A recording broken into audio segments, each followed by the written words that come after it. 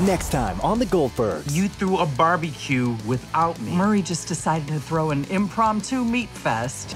Monday at 11 on WBNX.